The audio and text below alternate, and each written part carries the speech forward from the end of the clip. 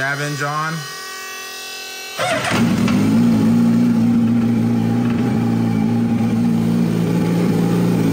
Hey guys, Rich with Rich Rebuilds here, and we are back with another Hayabusa swapped pickup truck video. And it's been three weeks since we put a video out, and let's see what happened in those three weeks. Well, I bought an Arcimoto, a really cool electric three wheeler that goes 80 miles an hour.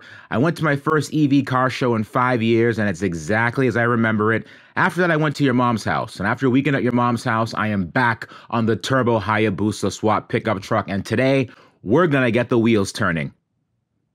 Okay, at this very moment in time, we have our brand new drive shaft set in, and I think this is probably one of the smallest drive shafts in existence. I think it's under a foot long. It's absolutely incredible, but I think it's gonna do the job for us. Now, when we bounce up and down, we wanna make sure that this isn't gonna come out of line a little bit too much. What we realize is we very well may have to actually strap uh, the shocks down. So sorry, strap the axle so it doesn't travel too far and that slip joint doesn't pop out. So right now we're going for a test drive. We're gonna check suspension travel. Joey is gonna be in the bed of the truck. We're gonna go down the road. He's actually gonna record the drive shaft to see what it's doing at any given point in time and whether or not it actually slips out too far. That way we know if we have to make any adjustments to it. Because I guess technically, Joey, we could, not what we would, we could space it a little bit too. We got a little spacer. Is it safe? Probably not, but that, you know, if you look around you, not much is safe. So let's hop to it. No, no, you're good.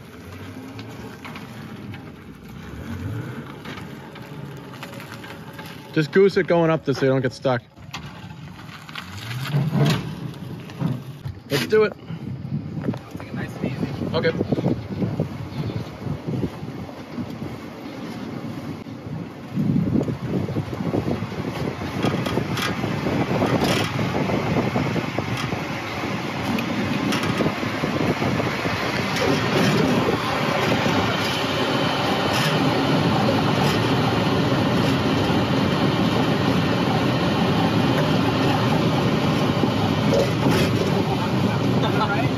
I'm good. How is it?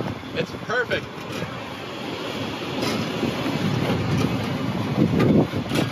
We're bottoming out hard. It smells like some burning smoke. tires. Yeah.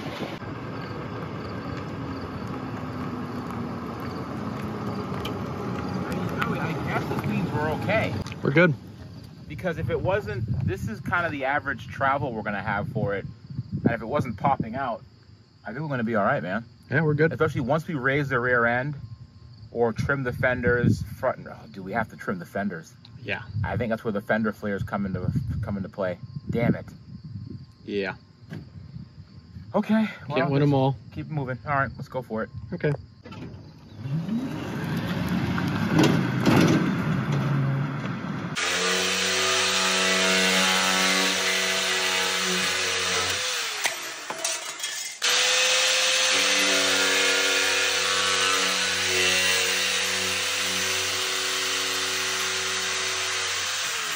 What uh, what logo is symbol. this? Yeah, it's a symbol. I can't remember what the symbol is. It has the fi- the CD burner. Remember, it has the thing and it has the fire up top. See, we're dating ourselves. What is LimeWire? that? No. Ah, s- it was like a, a burning application. yeah, it was burn application. Okay, this is the surprise we want to show you guys. This is the infamous auto shifter that I've been dying to get for this. Uh, Pingel, they saw me struggling and they sent us one. Thank you, thank you, thank you, thank you, thank you, thank you, thank you, thank you so much. Let's open this thing up. This is what shifts up and down. Uh, for the most part, this goes on Hayabusas on the, uh, the handlebars. Uh, but we want to find a way to adapt this for paddle shifters. Are we going to have enough time? Not really sure. In the beginning of the video, I was kind of showing you guys an air shifter. We really didn't want to go for an air system because you have to have uh, compressors, you have to have tanks. This just seems like it's the best solution for this, and shift happens. So thank you, Pingel. Oh, I thought that said something else. Okay, well, Oh boy. That thing is heavy. Oh man, it's like 15 pounds. let me see. they really want you to shift with this thing, huh? I guess you could say it's overbuilt. Yeah, this is the uh, electronic shift control module. What you have to do when you shift, you can't be on throttle as you shift this thing. This will momentarily cut the throttle as it's shifting gears. And this one here, what it does is it'll give you your How many milliseconds? Yeah. By setting the dip switches, it'll kill the ignition. Once you get it all wired in, you dial in how long you want the ignition to kill. Yep. and it kills the ignition as it's shifting. Uh, shifting. I think this is going to be so much This is fun. going to be so much fun. So thank you guys very much. I, again, I saw the price of this, and it wasn't in the budget for the build, but now it's in the build. So thank you guys very much.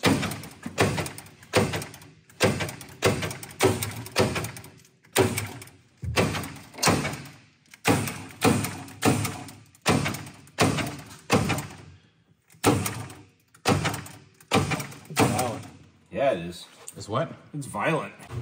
Okay, at this present time, everything inside of the Wabbit pickup truck is going to come out. We have to start preparing the frame uh, to paint everything. We're taking out the rear end. We're gonna be installing 411 gears and a limited slip differential in there because I'm sick and tired of having one wheel peels everywhere. But as you can see, we started taking the radiator out. Radiator is gone. Fuel cell is gone. Joey is actually welding some tabs onto the intake manifold because we discovered one thing that once the boost pressure starts building, it's gonna pop that intake manifold right off. So we wanna have some tabs that go here and mount somewhere on the frame so that stays in place and it doesn't blow its cover. I'll be taking out these shocks and rear leaf springs in preparation to make this thing look pretty. Okay, the boys aren't here as yet, and the bed is painted. Thank you, Joy, very much for prepping the bed for paint. We're gonna be uh, bed lining this entire thing, and right now I'm pulling the uh, rabbit out, and it's slowly drifting. But I wanna paint under the hood, and it's such a warm day outside. Uh, we're gonna end up baking in the shop. So I'm just bringing this outside right now, and it has a mind of its own at this point, but I'll be pulling this back to paint under the hood outside because I don't, this is just gonna go. There's nothing I can do to stop this. All right, so I have one half side done. I think it looks pretty cool. This is very reminiscent of the, uh, Mini Cooper that I did a while back. Just making sure it's nice and clean and just uniform, but that's coming along, I think pretty decently. I'm gonna start painting the front pretty soon. That part is painted. I'll paint the transmission. This is just me spray bombing stuff. This is very ghetto, but again, this is on brand for what broke Volkswagen owners do, which is myself. Thank you. All right, so now we have the truck back into the shop, and the plan is is we're going to paint the bed with bed liner. I know there's still some holes in it. You're gonna get over it, I promise. But we have the whole front end nice and covered up, so there's no overspray on on various things on it, and uh, we should be good to go, right, Joey? Yeah. So we're gonna actually bedline this the same material we used uh, for the side by side, and the side by side held up really well when we were in the mountains and in the rocks, kind of doing some rock bouncing on them. That held up fine. We're gonna spray this; it should hold up just as well. We should be good.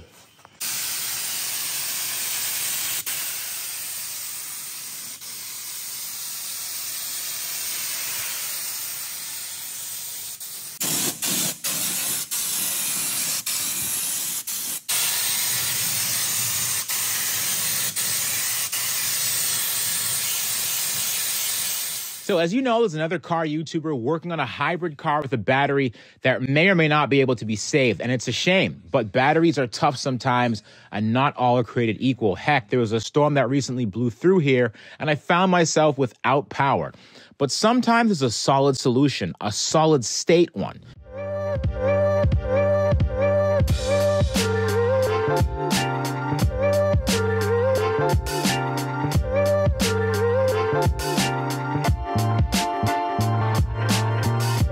Now, normally these batteries weigh a ton, but the B2000 from Yoshino is half that of the competition and can still power most any household appliances.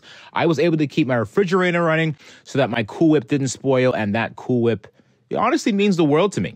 So what's even better is that when we lost power, the UPS responded immediately so that the router, uh, the desktop computer, and the server that has an intense amount of files on it really, really, really super important files that I could not lose. And I also charged a phone, another phone, another computer, a fidget toy, and several car batteries so that I can go drive to get more Cool Whip if I run out. Now, the B2000 is the safest and most portable backup battery out there and can charge from zero to 80% in under an hour. Now, this battery has a theoretical max energy density of up to two and a half times that of traditional lithium batteries, which is a difference that's bigger than the panel gaps on the Tesla traditional liquid Li battery and look at the ports and display readout. This Beats has a 1,326 watt hour capacity with a watt output of 2,000 watts continuous and 3,000 watts peak. Can yours do that? No, probably not. So head to the link in the description to get your very own and charge all the things you need virtually anywhere, whether at home on the road, in the garage, or wherever your adventure takes you. Now we have to work on the thing that I was dreading for the longest amount of time. Ever since the first day I inspected this vehicle, I knew I didn't want to do this job, but it's replacing the floor pans. As you can see, uh, this is borderline ready to get Fred Flintstone. Uh, the entire thing has shifted to the left a little bit. Uh, this side needs extensive work. Uh, this side is pretty pushed in. And at this point, you might as well just do both at the same time. Uh, there's holes starting to form on this side, as you can see. I mean, that's like all Swiss cheese, and I'd rather not have that. Uh, what I want to do next is I want to uh, cut these lines. Uh, these are the brake lines. I'm going to remove those. These are the feed lines uh, for the diesel. I'm going to remove those as well. I'm going to clean a lot of this stuff up before I make the first cut. What I'm going to do, I'm going to do a very simple initial cut first. I'm probably going to cut around the rust right here, all the way around, all the way around this side and do the same thing here, all the way around and all the way around again, just to make sure there's still some structural support and it doesn't kind of fall on my head. But uh, this whole thing is beat up pretty bad. It's really a shame. Uh, I also have to get clever how I want to do this. I have to uh, let the entire truck down, move this support arm to over here, somewhere in that area uh, to help support it while I cut the rest of this out.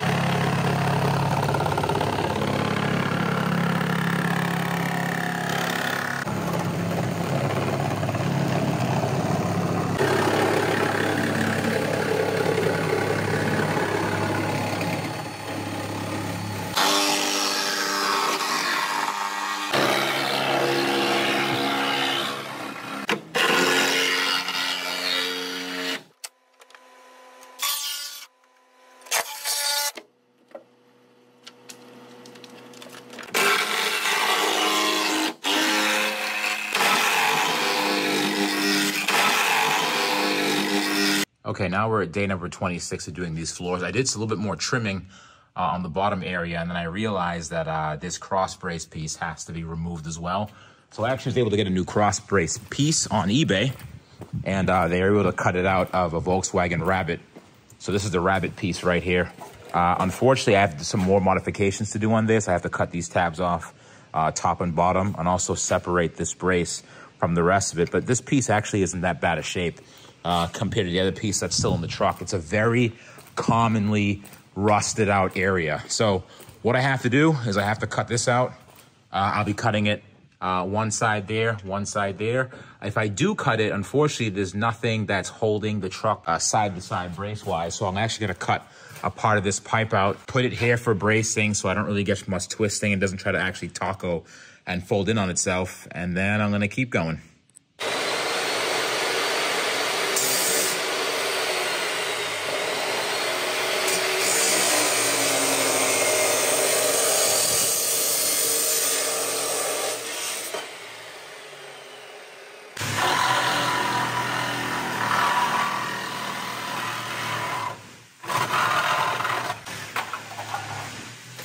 we are replacing uh, this water pump with this uh, block off plate right here. Uh, we're gonna use this block off plate, it's gonna go right there to cover everything up, and then we're gonna use the uh, Tesla water pump to circulate the coolant uh, through the engine head. This was $45 for some reason. We could have made this. Yeah. If we just if we just cram JB Weld in there, Yeah, oh, definitely. fine. All right, Joey, what are you working on right now, buddy? Um, I just made this clutch adapter. So before, Looks like a dinosaur almost. yeah, Yeah. it's a dinosaur. Uh, so originally, the sprocket used to sit right inside here, Yep. and obviously that's not going to work anymore with the drive shaft. Um, the clutch is fairly bulky, Yep. and it used to sit out about right here. So we had to make a plate. Get this guy to line the pin up real quick. If it doesn't fit, I know, right? How embarrassing. right? Oh, you also had to mod- modify the clutch rod too. yeah, yeah. So it was pretty long actually. Mm-hmm. So cut it up, made our own. Oh, it's Polish. OEM. Nice job, man. Polish up a little bit. Yeah, yeah. That'll slide right in. Nice job. Thank you. And I had to make sure that the clutch actually compressed. Yeah. So that was another fun task of getting the actual right measurements. Spent a lot of time on the whiteboard.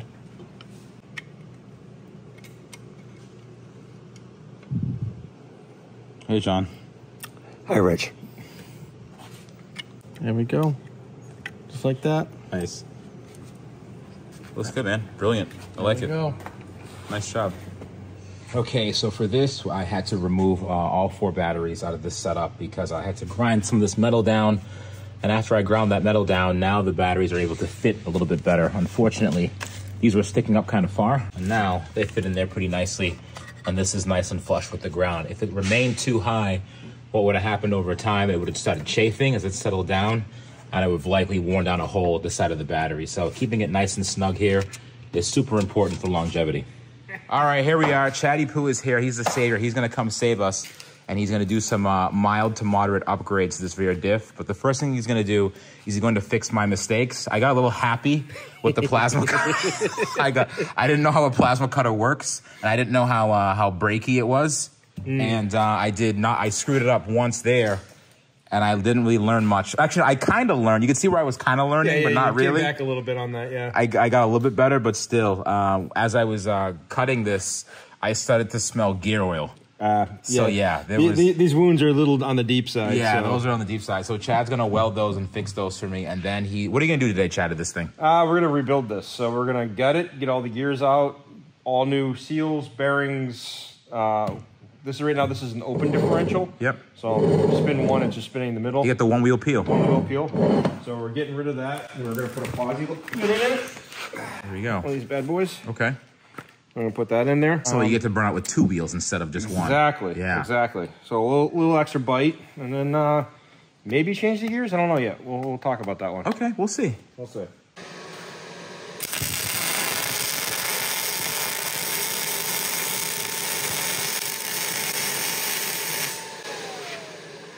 No more boo boo.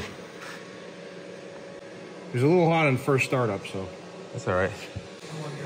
I should call her.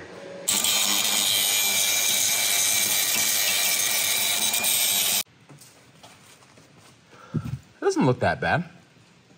No, it was a lot more silver down there before. Oh, it's just all metal. Yay. Yay, metal shavings. It smells great. So right now, where do we dump this? I hope you had it. Oh, oh, wow. Did you see that? That was hilarious. Let me see. That's too Oh, yeah, yeah, yeah. That was funny. That's off. Imagine how much better it's going to be now that the brakes aren't locked up anymore. Yeah, this thing was uh, on there.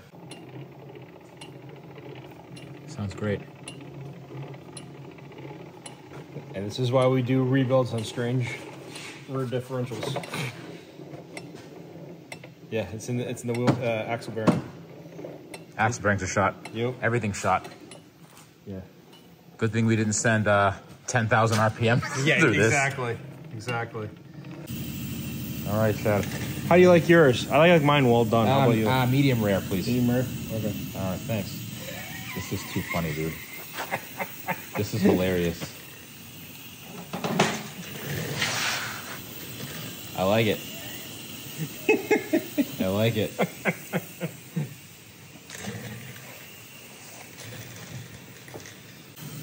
Chad, quick question. What mm-hmm. should the center temperature be? Oh, we're, we're, we're, we're hitting sure what? good. What are we heading at right now? Uh-oh. We're getting warmer. We're getting warmer. We're on 250. 250. Okay.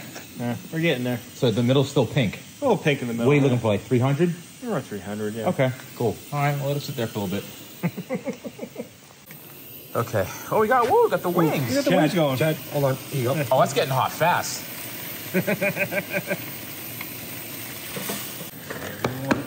You're ready. Here we go. Go for it. Line her up. Damn it. Why? Ready?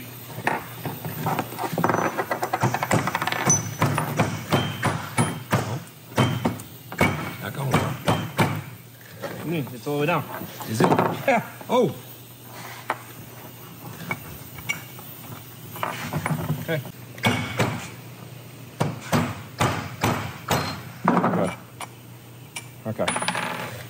Yay!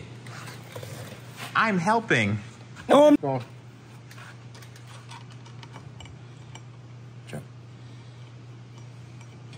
The bolts aren't hot, but the carrier's hot, so as long as I don't I touch the feel carrier, we're all right.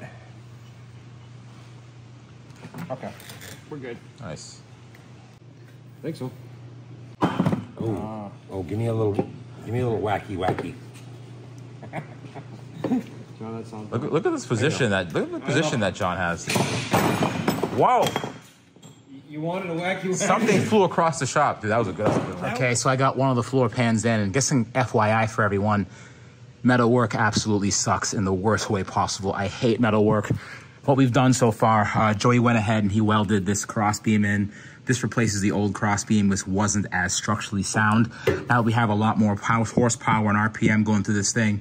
It's probably not going to be as sturdy as it was before. So we have this beam in here, coupled with that large beam in the back. So this thing's a lot more uh, stiff and rigid than it was before. So yeah, I'm gonna go ahead and put this one in. Uh, it's gonna go up. Uh, I'm gonna rivet it in and then put the uh, panel bond and the seam sealer on top of it. So it's, uh, you know, twice the safeness, I guess you could say.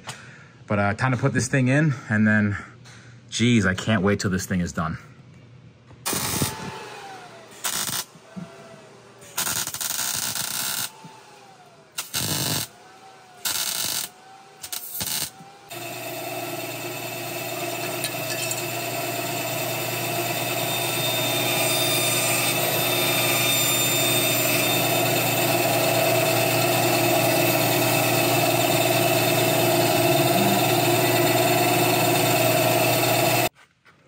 Okay, so we're almost done here. I just have to finish painting this last quadrant of the floor. Uh, these reinforced bars right here for the floor, front and rear for the seats are in. They're strong. What I have to do next, I have to get the carpet in that we got. We got a brand new carpet for this, and I have to trim the carpet accordingly to accommodate those new bars that we fit in there. So I'm gonna work on that right now. After I trim that, I'm gonna start running the wiring harness from the back to the front of the caddy, and hopefully we're good from there. All right, so I know a lot of time has elapsed, but uh, John and I went ahead and we started putting in the carpet in. Obviously, we had to make some modifications to the carpet so that it would clear those two reinforcement bars we have in there. But we have to now take the carpet back out and uh, figure out what we're going to do next for the center console. We, uh, we figured out what wires need to run to the front of the pickup truck and what wires need to stay behind. Anything that requires any input like turn signals, horn, or for display purposes will go in front. Everything in the back, like the voltage rectifier and things like that, will stay against that wall. Power commander will stay back there, but the power commander information screen will go to the front. So anything that requires input or gives us information goes up front. Everything else stays out back. And right here is about the center line for things we're keeping in the front and things we're keeping in the back. So a lot of this mess is gonna go right back here under the seats or uh, back behind that wood wall. All right, now we're putting some fluids in. Look at this Asian vehicles. That just seems a little, You know what color it is? a little racist. Yeah, it's almost pink like the um, boneless spare ribs. Oh, gee, all right, I'm gonna stop. okay, ready? Yep. Oh, it's going down to your level. Yeah, yeah. Oh, that's cool. It actually worked. Now it's half. What you doing, guys? There you go. We're just uh, It's filling this system. It is working. The little fish tank pump works. I like it. It even sounds like a fish tank. It does. It's the quietest thing back here. All right. All right, the axle is finished. We have the uh, limited slip differential there. We have the 411 gears. And uh, we actually ran into an issue. We're kind of jump cutting here, uh, but we had to get new axles altogether because the prior axles were uh, 28 spline and uh, the new LSD is, uh, I think it's 31 spline. So we have to get brand new axles. These are upgraded and they're built to handle whatever power we throw at them, even though this definitely cannot overpower these axles. They're meant for a truck. We have all new hardware. We have new shoes. This is pretty much a brand new rear end. All we have to do now is just paint it. That will come much, much, much later. Uh, we also need some wheel studs in here, but for now, uh, He-Man and I, Joey, we're gonna he-ho this thing into the uh, caddy, and hopefully we'll be finally done this damn thing. All right, now we're doing some final plumbing. Uh, we tried to prime the pump, and then as you can see, there's a little residue there. Uh, we also, there's also another fuel leak. This is John's head coming out of the plenum. A lot of leaks. Like when you do stuff like this, you have to make sure double triple quadruple check that everything's right. We don't have any leaks uh, from the radiators yet. so far, give it time. Give it a little bit. And we don't have any intercooler leaks yet. We had in the beginning, but now we're pretty good. We just have a fuel leak, which is arguably the most dangerous thing. Now we're gonna take care of that. We're gonna remove the pump, tighten it back down, and um, reinstall, and just hopefully get the wheel spinning on this thing. Oh, we need a clutch line too, don't we? Yeah, yeah we do. Yeah, we need a drive shaft too. Yeah. It's important. All right, so we want the wheels to start spinning, and we have this clutch adapter that I want to tell you guys about. Uh, what this clutch adapter does, this piece we just bolted in, it actually takes the manual throw from the clutch pedal and turns it into a hydraulic line. So I have this uh, hydraulic port right there. And we're gonna run this line on this, and we're gonna connect this uh, to the back of the engine. We're gonna start plumbing this line on, all the way underneath the car, going back to the motor, and then we should be good. All right, John, initiate startup sequence. Key on. Key on. Key on. All right, pump prime. All right, don't do anything yet. All right, scavenge on. What? All right, let's uh, let her rip, Tater Chip.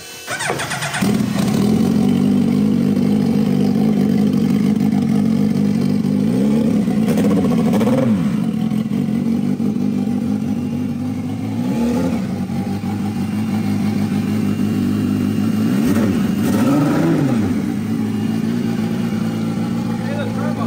Huh? Oh, yeah, do it again, do it again, do it again.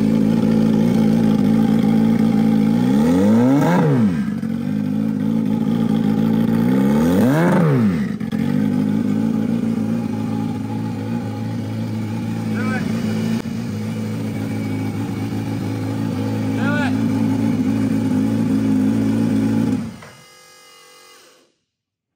Hell yeah. That was our first successful startup. All right, let's get, the wheel spinning. So, all right, second test. Hopefully with the drive shaft spinning. Scavenge on.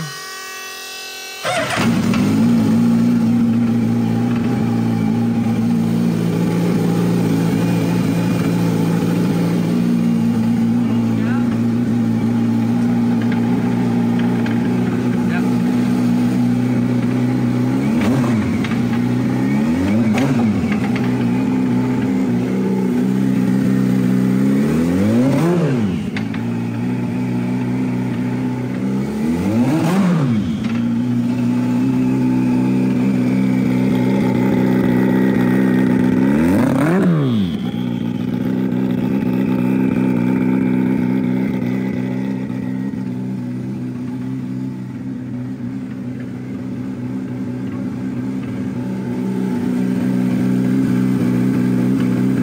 That's first gear.